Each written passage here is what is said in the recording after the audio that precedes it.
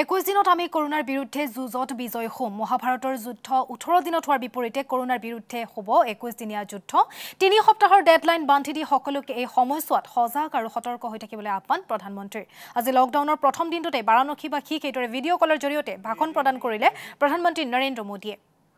कल मैंने नर्सिस के साथ भारत का युद्ध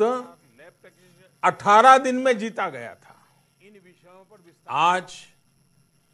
कोरोना के खिलाफ जो युद्ध पूरा देश लड़ रहा है, उसमें 21 दिन लगने वाले हैं। हमारा प्रयास है इसे 21 दिन में जीत लिया जाए। कोरोना महामारी के विरुद्ध जो युद्ध देश ने छेड़ा है, उसमें हिंदुस्तान को 130 करोड़ देशवासियों को विजय प्राप्त हो।